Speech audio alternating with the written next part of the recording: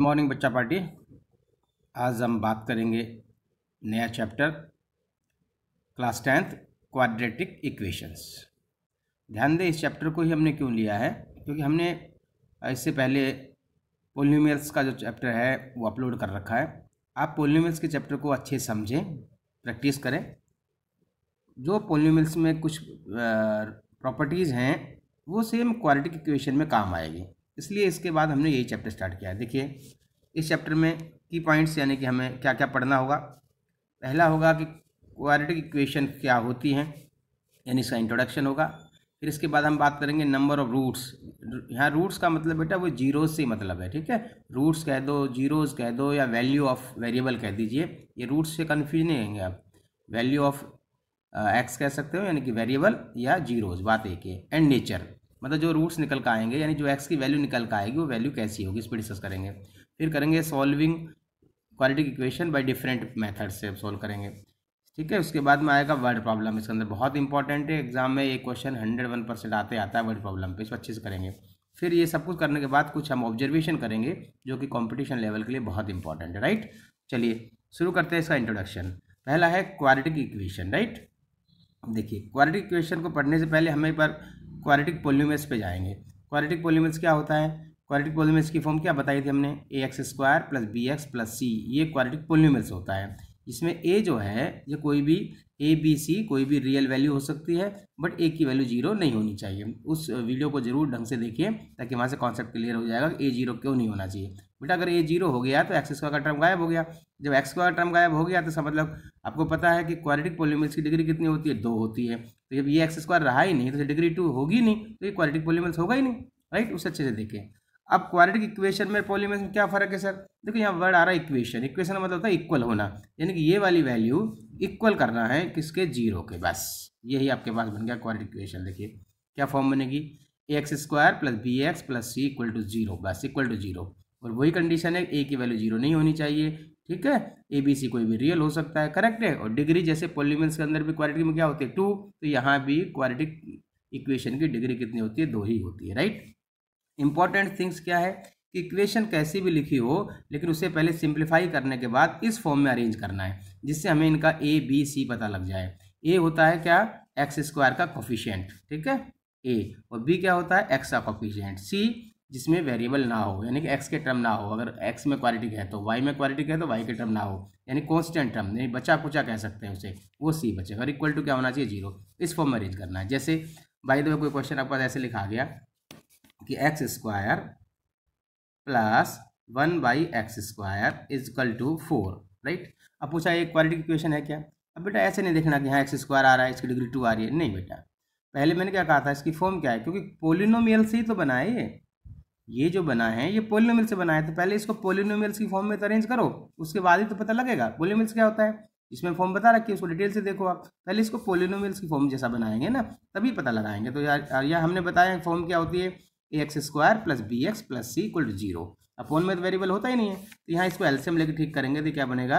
X की power four और यहाँ बनेगा प्लस वन इजकल टू इसको क्रॉस इंटू कर देंगे, ये फोर एक्स स्क्वायर यानी हमारे पास बन गया x power four minus four x square plus one equal to zero अब ये देखिए, इसकी डिग्री कितनी आ रही है सर डिग्री क्या होती है? अरे वेरिएबल की बड़ी से बड़ी पावर देखो कितनी आ रही है फोर आ रही है। लेकिन क्वालिटिक में कितनी होती है? टू होती है। यहाँ कितनी पावर आ रही है? फोर इसका मतलब ये क्वालिटिक इक्वेशन नहीं है राइट ऐसे कई बार क्वेश्चन ऐसा आ जाता है कि हमारे पास आ गया two x into x plus three that is equal to two x square plus seven ऐसा आ गया।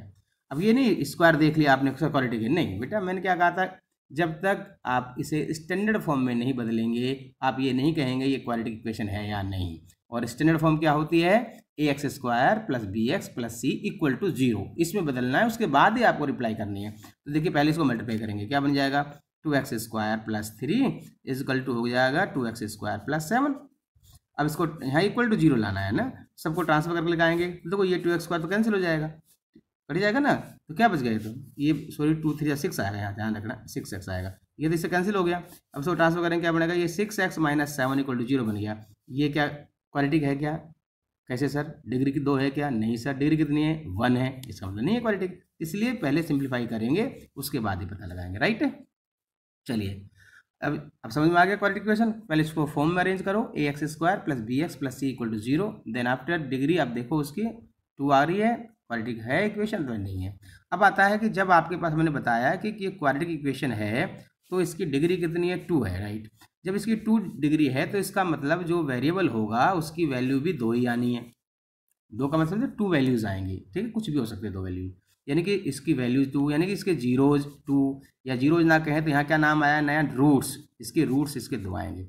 रूट्स का मतलब वही होगी जो एक्स की वैल्यू जो इसको सेटिस्फाई करने पर इक्वल टू ज़ीरो आता हो। तो ये रूट्स को हो वैल्यूज़ को हो जीरोज को एक ही बात दो आएँगी राइट अब मैंने इसे बताया कि ये जो दो आंसर आएँगे वेरिएबल के, वो दो आंसर नंबर ऑफ़ रूट्स बताया मैंने कि नंबर ऑफ़ रूट्स क्या बताया मैंने? डिग्री इसकी दो होती है इसका मतलब इसके पास दो रूट्स आएँगे, दो रूट्स का मतलब बेटा जीरोज पॉलिटिक पॉलिंग इसमें देखना।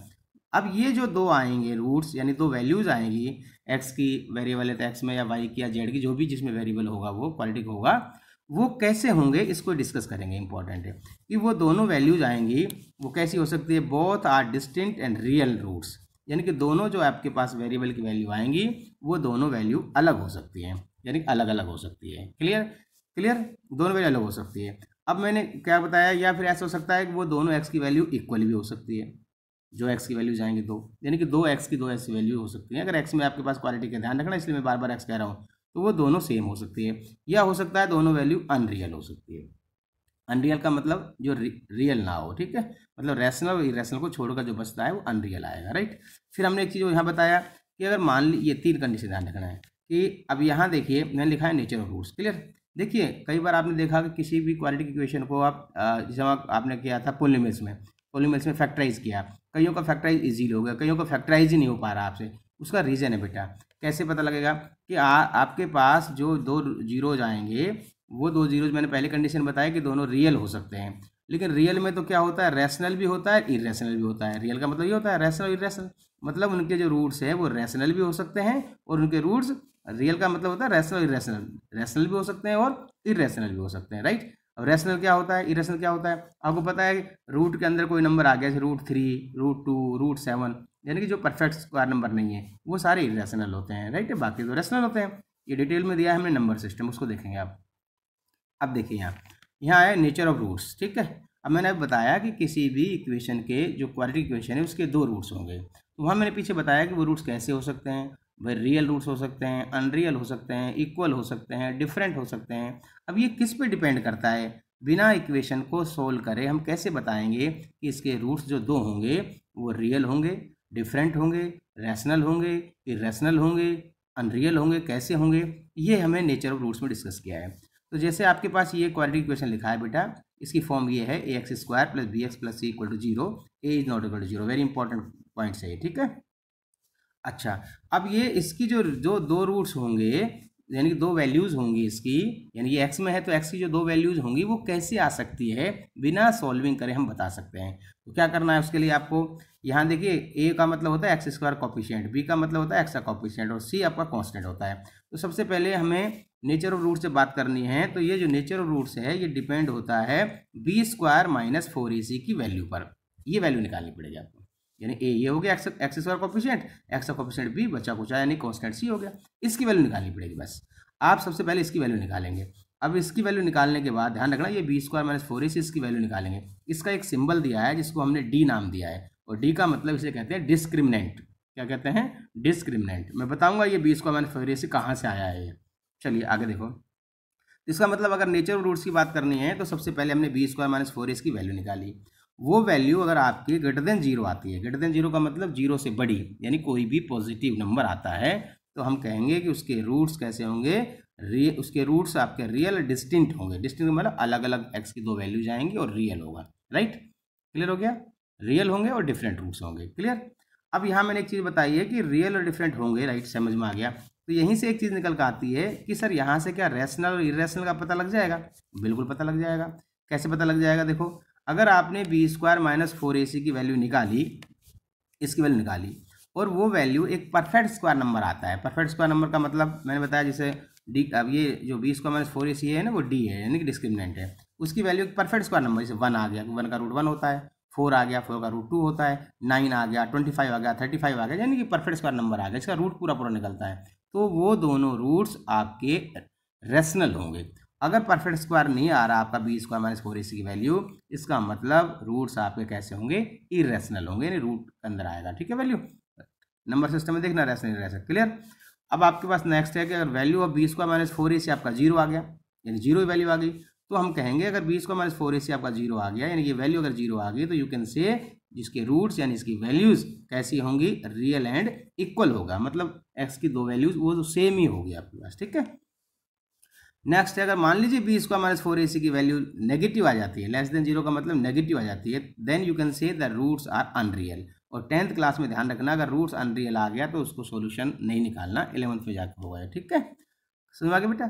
इसमें एक वर्ड और आधा के ध्यान रखना बुक में आपने देखा होगा कि यहाँ पर जिसे मैंने लिखा b square minus four a c greater than zero इसका मतलब है roots are distinct roots are distinct and real और अगर मैं यहाँ इक्वल टू का साइन लगा देता हूँ सिंपल ये तो इसका मतलब डिस्टेंट वर्ड नहीं जुड़ेगा, यहाँ लिखेंगे बस रूट्स आर रियल बस, अगर रूट्स आर रियल तो बस ग्रेटर देन इक्वल टू लगाना है। रूट्स आर रियल और लिखा roots are real and distinct तो यहाँ इक्वल टू नहीं आएगा ग्रेटर देन का साइन आएगा राइट चलिए, आगे बढ़ते हैं। अब हम चेक करते हैं जो मैंने लिखा है, इसका मतलब क्या है? देखिए, एक एग्ज़ाम्पल लिखा है मैंने three x square minus four x plus seven equal to zero लिखा है। तो सबसे पहले बच्चों ए बी सी की वैल्यू निकालने आनी चाहिए। देखो, इसको वैल्यू निकालने से पहले ध्यान रखना है, पहले इक्वेशन को ठीक ठाक करो, एल्सियम वगैरह लेकर और फॉर्म अरेंज करो a x square plus b x plus c equal to zero form बनाइए। ठीक है, जो इसकी फॉर्म होती है। ये फॉर्म बनाने के बाद आप कंपेयर करके देखिए एक्स स्क्वायर से ए इंटू हो रहा है, यानी कि एक्स स्क्वायर कॉपिशेंट ए होगा। और एक्स से बी इंटू हो रहा है, यानी कि एक्स का कॉपिशेंट आपका बी होगा। ध्यान रखना बी क्या है? माइनस फोर है तो माइनस होगा। यहाँ प्लस लग रहा है। और सी क्या होगा? बचा हुआ। क्या लिखा है? सेवन नहीं माइनस सेवन विथ साइन लेना है आपको, ध्यान रखना। ठीक है? अब हमने क्या करा? Value of b square minus four a c निकाला। ये वैल्यू ये आई। इसको कैलकुलेट किया, मेरे पास आया हंड्रेड तो हंड्रेड मतलब ये पॉजिटिव आ रहा है। इसका मतलब इसके रूट्स जो हैं बेटा, वो कैसे होंगे? रियल होंगे और डिफरेंट रूट होंगे। यानी दो एक्स की अलग अलग वैल्यूज़ आएँगी राइट अब दिमाग क्वेश्चन आता है कि जो डिफरेंट वैल्यू आएँगी, क्या वो रेशनल होगी या इरेशनल देखो, क्या आया वैल्यू आपके पास? हंड्रेड आया। हंड्रेड क्या है? एक परफेक्ट स्क्वायर नंबर है। क्यों? कि हंड्रेड का रूट कितना आता है? टेन आता है। अगर ये परफेक्ट स्क्वायर नंबर आता है तो definitely roots are rational rational भी होंगे। अगर परफेक्ट स्क्वायर नहीं है तो इरेशनल होगा राइट नेक्स्ट क्वेश्चन एग्ज़ाम्पल देखो। ये लिखा हुआ है। यहाँ से ध्यान रखना एक्स स्क्वायर कॉफिशेंट देखो। ध्यान रखना एक्स स्क्वायर लिखा है। यहाँ कोई कुछ भी नंबर नहीं लिखा। इसका मतलब वन इंटू हो, रहा होगा। इसका मतलब यहाँ ए की वैल्यू वन हो गई। बी की वैल्यू कितनी है? माइनस टू है। ठीक है? सी की वैल्यू कितनी है? वन है। ये b square minus four a c की वैल्यू निकाली। कैलकुलेट करा कितना आया? वैल्यू ज़ीरो आया। तो जैसे ज़ीरो आ गया तो रूट्स आर इक्वल कह सकते हैं। और zero is also real number तो you can say that roots are real and equal correct समझ आया भाई? चलिए। और एक चीज़ बड़ा ऑब्जर्वेशन अच्छा है कि अगर जिसी के रूट्स आपके ये ज़ीरो आ रहा है ना, अगर डी ज़ीरो आ रहा है तो डेफिनेटली ये होल स्क्वायर बन रहा होगा। या तो ए प्लस बी का होल स्क्वायर बन रहा होगा या ए माइनस बी का होल स्क्वायर बन रहा होगा। ये ऑब्जर्वेशन है, इसकी मेन ऑब्जर्वेशन ठीक है? अब आगे नेक्स्ट देखिए नया एग्जांपल लिया इसमें ए की वैल्यू रखा बी रखा सी रखा। B square minus four a c निकाला, ये कैलकुलेट करा, कितना आया? माइनस आया नेगेटिव आ गया माइनस थ्री फाइव वन जब नेगेटिव आया तो रूट्स आर इसके रियल नहीं होंगे अनरियल होंगे राइट है? और अनरियल होगा तो इसका मतलब टेंथ क्लास में सोल्व नहीं करना इलेवन जाकर सोल्व करेंगे राइट अब आपको दिमाग में आ रहा है, ऐसा क्यों हो रहा है, सर, है ना? कि माइनस पे ऐसा आ रहा है प्लस पे क्यों आ रहा है, बताएँगे डिटेल बेटा। आपको दिमाग में आ रहा है ना, ये नेगेटिव आया तो सर अनरियल हो गया, ये ज़ीरो आया तो इक्वल हो गया, ये ऐसा क्यों हो रहा है देखिए? यानी कि आप ऐसा भी कह सकते हो कि sir b square minus four a c ही क्यों निकाल रहे हैं? इसके अलावा और कुछ टर्म क्यों नहीं आ सकती? यही वैल्यू क्यों आ रही है? देखिए, क्यों आ रहा है? इसका रीज़न हम दे रहे हैं। मैंने लिखा why b square minus four a c मतलब इसकी वैल्यू पे क्यों डिपेंड कर रहा है? ये देखिए क्लियर है? तो इसको समझने के लिए बेटा देखो, आपने लीनियर इक्वेशन पढ़ा होगा, जहाँ लिखा है two x plus seven equal to मान लीजिए, लिखा है ज़ीरो लिखा है। तो यहाँ से अपने एक्स की वैल्यू कैसे निकालते थे? Two X is equal to minus seven और एक्स की value minus seven by two सीधा आंसर आता था। लेकिन क्वाड्रेटिक इक्वेशन में क्या यहाँ डायरेक्ट एक्स की वैल्यू निकाल सकते हो क्या? नहीं निकाल सकते। क्योंकि एक्स की जब जिसकी वैल्यू निकालनी है, वो लेफ़्ट साइड में रखना है। तो यहाँ एक्स स्क्वायर भी है एक्स भी है। तो अब आप ऐसे में तो एक्स की वैल्यू नहीं निकाल सकते क्योंकि यहाँ एक्स जो है दो बार आ रहा है। एक बार एक्स स्क्वायर की फॉर्म में आ रहा है, एक एक्स की फॉर्म में आ रहा है। टू टाइम्स आ रहा है। इसलिए हम डायरेक्ट लीनियर जैसा सोल्व नहीं कर सकते। तो क्या करना पड़ेगा? फिर हमने लिखा कि अब आप क्या करेंगे? इस पूरे को कुछ इस तरह से कन्वर्ट करें कि ये किसी का होल स्क्वायर बन जाए। या तो ये होल स्क्वायर बन जाए ए प्लस बी का या होल स्क्वायर बन जाए ए माइनस बी का, यानी इसका होल स्क्वायर बनाना है, ठीक है? अब दिमाग में आता है होल स्क्वायर कैसे बनाएँ? तो बहुत आसान है बेटा। एक सिंपल टेक्निक है, इसको याद कर लेना। आपके पास एक मेथड है कंप्लीटिंग द स्क्वायर वो वो क्वेश्चन भी इसी से हो जाएगा। तो यह होल स्क्वायर कैसे बनता है? देखो, सबसे पहले क्या करना है आपको मल्टीप्लाई करना है फोर ए से। फोर ए का मतलब जो आपके पास एक्स स्क्वायर का कॉपिशेंट लिखा है, उसके फोर टाइम से मल्टीप्लाई कर देना है। इसलिए मैंने क्या लिखा? फोर ए ये बहुत यूजफुल है कंप्लीट द स्क्वायर के अंदर। जो एक्स का एक्स स्क्वायर कॉपिशेंट लिखा है, उसके फोर टाइम्स इंटू कर देना है हमेशा। तो जैसे हमने फोर ए से इंटू किया, क्योंकि एक्स का कॉपिशेंट यहाँ लिखा था ए तो यहाँ फोर ए से इंटू किया मैंने। इंटू करने से ये रिज़ल्ट आया। ठीक है? अब हमें पता है कि होल स्क्वायर जब बनेगा तो ए प्लस बी या ए माइनस बी का तो फॉर्मूला होता है A square plus minus two A B और प्लस बी स्क्वायर ये फॉर्म होती है। इसका मतलब स्क्वायर के दो टर्म होने चाहिए और वो दोनों की वैल्यू पॉजिटिव होनी चाहिए, ठीक है? बीच में आपके पास टू ए बी के बराबर होना चाहिए। अगर आपने एल एल्जेब्रिक आइडेंटिटी पढ़ी है तो ना? तो यहाँ देखिए अब क्या बन गया। अब जैसे मैंने फोर ए से इंटू करा, ये रिज़ल्ट आया। तो देखो, इसको हम क्या लिख सकते हैं? Four A square X square इसे लिख सकते हैं टू ए एक्स का होल स्क्वायर इसे होल स्क्वायर खोलेंगे तो यही वैल्यू आएगी बेटा। तो ये देखो, मैंने यही लिखा है टू ए एक्स का होल स्क्वायर ठीक है? अब आप इसके बाद में क्या आ रहा है? यहाँ देखिए फोर वो स्प्लिट करेंगे। फॉर्मूला क्या होता है? टू होता है। फिर इंटू होता है ए की वैल्यू फिर इंटू क्या होता है? बी की वैल्यू तो इस फोर को स्प्लिट करेंगे टू इंटू समथिंग तो फोर में से टू अलग निकाल दिया टू बाकी बचा हुआ क्या कर दिया मैंने कि आपके पास यहाँ ए की वैल्यू क्या आई थी? यहाँ देखिए टू ए तो इसको मैंने स्प्लिट कर दिया two into two A X क्योंकि ए की वैल्यू क्या है? टू ए एक्स है। तो two into two A X तो क्या बच गया? आपके पास इंटू में बी बच गया। इसे स्प्लिट करना आना चाहिए। कुछ नहीं, आसान स्प्लिट करना बेटा। यहाँ से फोर आ रहा है। फोर में टू अलग कर दो। बाकी क्या बच गया सर? टू बच गया। यहाँ क्या बना है? टू ए एक्स तो इसका मतलब ए और एक्स आएगा। ये रहा ए और ये रहा एक्स क्या बच गया? इंटू में बी बच गया। ठीक है? और ये जो प्लस फोर ए सी है इसको ट्रांसफ़र कर जाइए। इसको ट्रांसपोज कर दिया मैंने, ये आ गया राइट अब मेरे पास ये ए स्क्वायर आ गया। ये देखो टू ए बी की वैल्यू है। यानी कि होल स्क्वायर के लिए क्या चाहिए? मुझे बी स्क्वायर चाहिए। तो ये तो टू है। ये ए की वैल्यू है। तो बी की वैल्यू यहाँ बी स्क्वायर ये तो ये जो बचा हुआ है, इसके स्क्वायर को बोथ साइड ऐड कर जाना। यहाँ ऐड कर दिया मैंने, इधर भी ऐड कर दिया, ठीक है? जैसे ऐड करेंगे, ये होल स्क्वायर बन जाएगा। किसका होल स्क्वायर बन जाएगा? ये देखो A square plus two A B plus B square यानी कि ये बन गया ए प्लस बी का होल स्क्वायर यहाँ अगर माइनस होगा तो ये माइनस का होल स्क्वायर बन जाएगा। और ये इक्वल टू में ये रिज़ल्ट आ गया, ठीक है? वहाँ बात कर रहे थे बी स्क्वायर माइनस फिर फोर ए सी क्यों यूज़ किया? अब देखिए टू ए प्लस बी का whole square, that is equal to ये हो गया। अब यहाँ स्क्वायर हमने पढ़ा है कि X square is equal to कहीं नाइन हो तो एक्स इजकल टू हम लिखते हैं plus minus root nine. Same ऐसे ही मैंने स्क्वायर हटाया, क्या लिख दिया मैंने? Plus minus root of this कर दिया, ये लिख दिया। क्लियर? अब यह इंपॉर्टेंट चीज़ देखिए। अब यहाँ पर आपके पास एक्चुअल में B square minus four A C क्यों लिया? क्योंकि ये जो सारी कहानी है, ये root B square minus four A C पे डिपेंड करता है।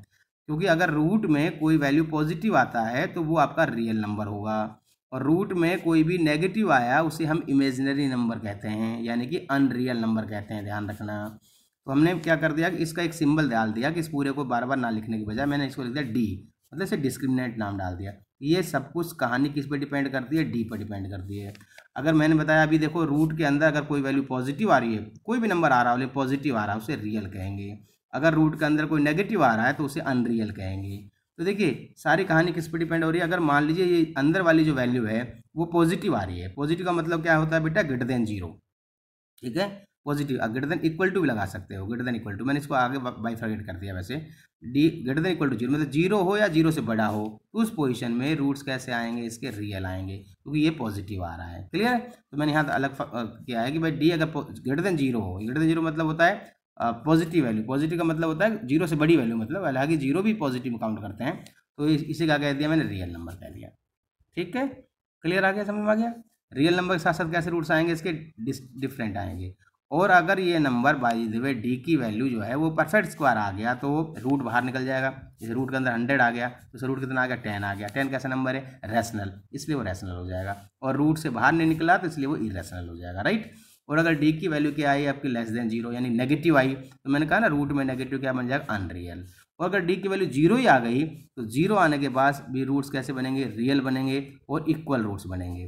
क्लियर इन दोनों को हम कंबाइंड कर सकते हैं, इस तरह लिखकर, इस तरह. मैंने लिख दिया if D is greater than equal to zero then roots are real इतना बहुत है. लेकिन अगर आपने ओनली ये नहीं लगाया तो लिखेंगे roots are real and different बढ़ाएगा, ध्यान रखना.